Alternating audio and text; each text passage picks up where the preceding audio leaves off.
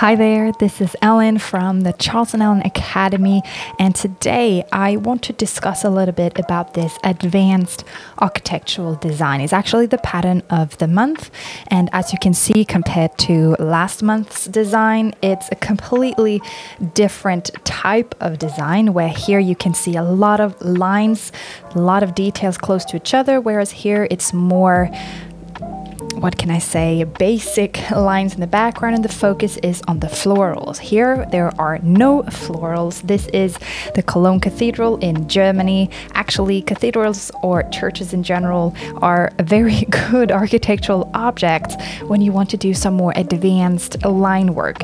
For example, I did a similar thing here in our book for, let's see if I find it right away, for one of the, here we go, designs in Italy. We have the Basilica di Santa Croce, maybe. Sorry that I do not speak Italian, I will have to learn it.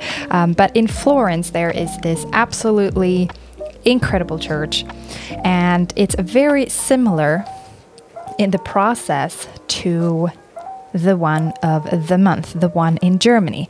So these churches are very, very, very detailed, and it's very difficult to capture all of that detail. So these are already simplifications of the original architectural structures, right? Um, we want to simplify it down into lines and basic shapes. So essentially, you have got some um, rectangles. Uh, you have some tri. Sorry, I was doing a triangle, but I meant rectangles, triangles, lines, even rounded shapes. Just distill it down to basic shapes. Actually, Charles made a great tutorial about basic shapes in drawing that you can find here on the channel as well. Uh, I will actually link to it down below in case you are curious. Because even though you're doing basic shapes, it's the same here. Even though you do a lot of basic shapes put together, it looks super advanced. Um, but please do not feel overwhelmed because it doesn't have to be. As we show in the book, for example, you really start just with the main contours the main it's usually the main straight lines for this design that I have here you can see that I've done the same I've worked the main straight lines that kind of create the foundation of the whole structure. You can see I did it here as well. We would consider these main outer contour lines to be the main lines, right? Um, after that is when you would start adding in some details and maybe overlapping some lines. So that is what I slowly started adding in here a little bit just to show you before finishing it off. Um, these darkened areas here on, on the kind of I would say windows. I actually don't know if it's windows in reality, but it looks kind of like windows.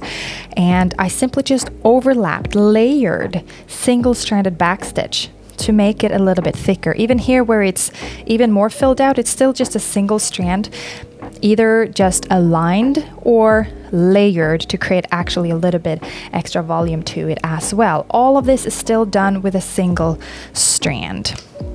Uh, and finally finishing off with any small details. So it's exactly the same here. It looks very advanced, but if you just take it one step at the time, uh, let me just get rid of the book just one step at the time, you will reduce the overwhelm, and at the end, you will realize, wow, I actually did it. Because it's kind of like the same technique throughout. It's the backstitch technique that we are working with. It allows you to create very neat shapes um, without changing technique, really. What makes it look advanced is that they are a lot of small stitches close together and that it's a single strand that I've used. So I was thinking to just demonstrate um, a little bit how the magic of these tiny stitches work. I'm just going to stitch one strand here together with you guys in this area. Let me just maybe zoom in a little bit more. There we go. Okay, so where are we? So I always keep my original drawing This is a drawing that is going to be transformed into the pattern that you can stitch. So if you want to stitch this, by the way, check out the link below. It's part of the pattern program.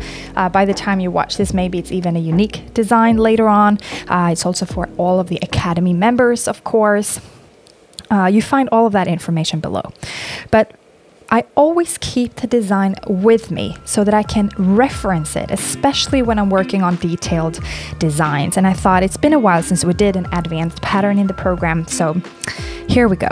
Uh, I am in this area. Where is that on the design? It's this window here. And you can see that there are there I, I just made the main outer line so my transfer lines has almost completely disappeared because I've stitched on this for quite a while now actually. So that's just one thing to be aware of if you do use the carbon paper method for transferring, which we love, but if you do take a lot of time and maybe you've been thumbing a lot around here, um, it does tend to fade away with time. Now, it's not a big issue if you do have the original design next to you, so you can reference that. Um, and also, if you do, like, if you have stitched the main contours first, then it will just be a matter of placing in the details in reference to the main lines. I actually have a full workshop on that too uh, inside of the Academy, so I'll put that below as well. All right. Um, so I made the main contour around and inside you can see there are some smaller rounded shapes as well. This little detail here and a cross up there. You've even got some small, super tiny straight stitches around. Actually, this is how it looks like when it's stitched. So of course it cannot look as tiny as it does with the ink pen, but the whole point of using a single strand is really to kind of um, imitate the look of a single strand. So let's just start with the back stitch here. Now I work my way in to fill out these small rounded shapes that are inside of this outer one that I had already stitched.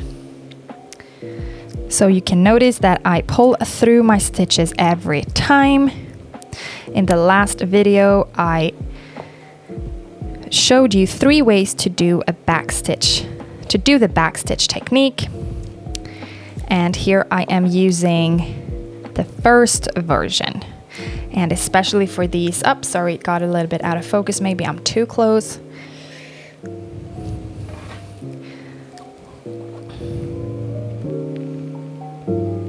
For these very advanced or very, but more advanced designs, then I definitely prefer the first one because it allows me to really do these tiny stitches, be very precise.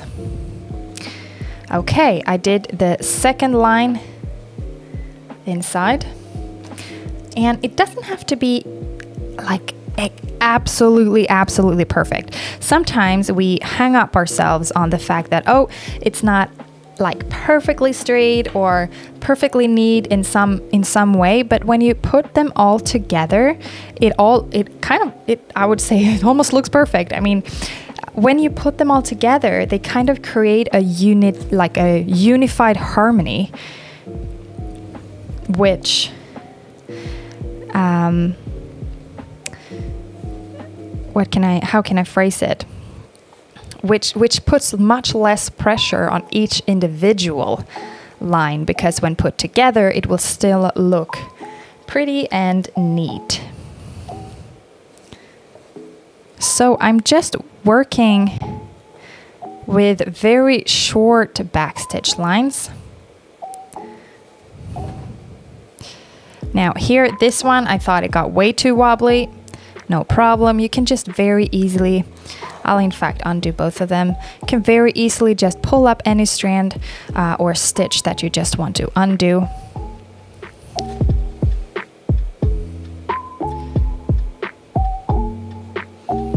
I have a quite thick cotton because when you are working these advanced designs, it's great to have that extra support of a rigid cotton base.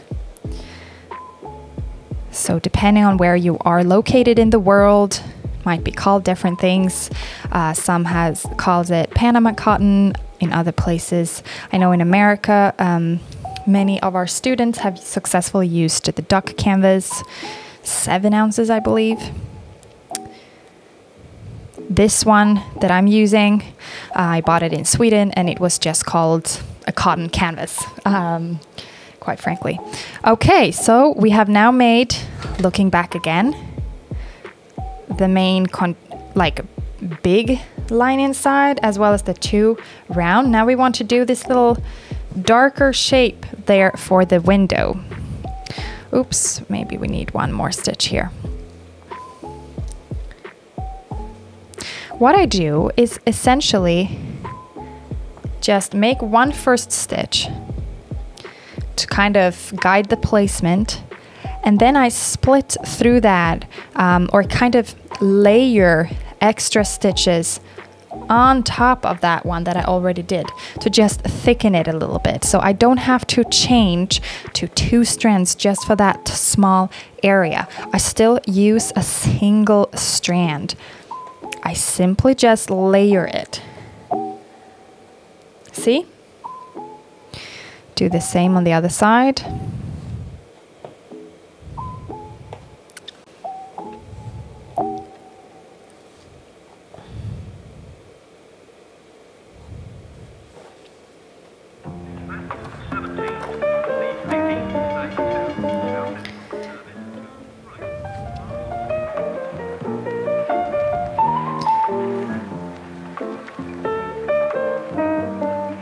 Okay, now up here I saw that there was a little detail, so let's do really tiny, tiny stitches of that. It's like a little diamond shape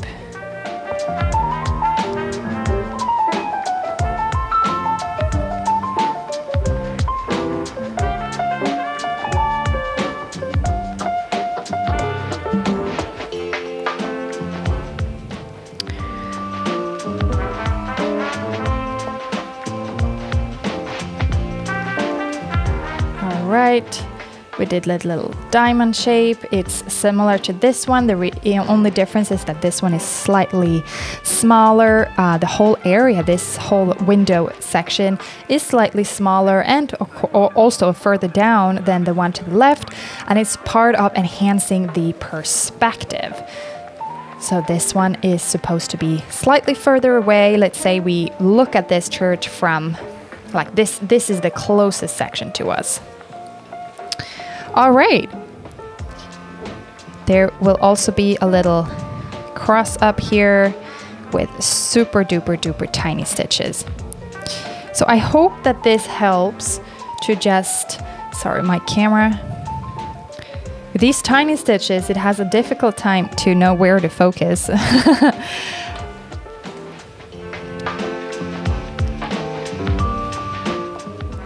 I hope that this at least helps to understand a little bit better. Um, just that the stitch technique is still the same. It's still the back stitch or straight stitch. It's just a matter of reducing the size of the stitches, reduce the length of the stitches, and do one line at the time, and you will be able to complete even an advanced looking embroidery pattern. I find it so soothing to do this type of designs because it's like it, it feels so rewarding kind of when you see each line fall into place and it kind of grows in front of you. Um, and it looks very cool at the end. So we have a teeny tiny cross here. So what we have left, in addition to just, I'm going to finish this off, but I will not do everything with you in the camera here, because then it might be a very long video. Um, but what I do have left as well is just these um, areas in the shadow here. So this is really an effect of just enhancing again the perspective. Uh, if you're curious and interested to learn more about how to identify these areas, uh, I have I talk in depth about that in the thread sketching course. Um, it's a lot similar to different sketching techniques, architectural sketching. But these I will just fill out with vertical two-stranded split stitches to just fill out those surfaces. And it will really really you see how actually here when it's not filled out you can see that it looks a little bit more flat. So adding some strong contrast to an architectural structure really just enhances it. It enhances the perspective. It makes it more like wow okay this this is this is it. So um, yeah i really hope that this helps to tackle this design. And if you are part of the member uh, membership, part of the academy, part of the pattern program, you can download this design throughout the month inside of the curriculum section. If you're not yet part, come join us. We have a lot of fun. It's constantly growing. In the pattern program, we've got a new design on the first of each month. Um, the pattern program is also part of the Academy membership in case you also want to take some of the courses and workshops. Um, as an Academy member, you get access to everything. So um, it's the easy way to route to go if you are looking for expanding your art education uh, and you happen to love fiber arts and embroidery. We're including some drawings and things like that as well because having basic knowledge about drawing, it also allows you to improve in your embroidery as well. Now, I'm going to stop uh, babbling about it. Just check it out below if it interests you. Um, and I'll see you in the next one.